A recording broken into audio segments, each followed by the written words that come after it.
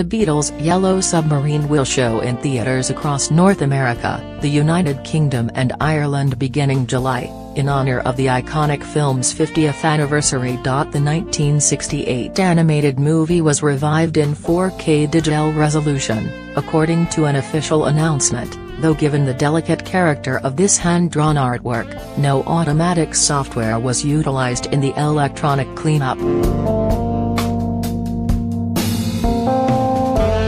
This was all done by hand, frame by frame, according to Abramorama, which is behind the new release.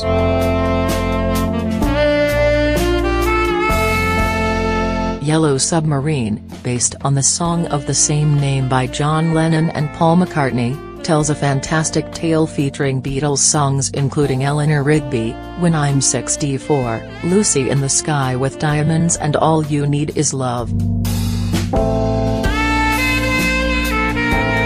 The film's artwork took inspiration from the pop art of the time, echoing the styles of Andy Warhol, Martin Sharp, Alan Aldridge, and Peter Blake. While participating theaters and dates have yet to be revealed, organizers say screenings will begin July 8 in the UK, Ireland and North America. Sign up for updates at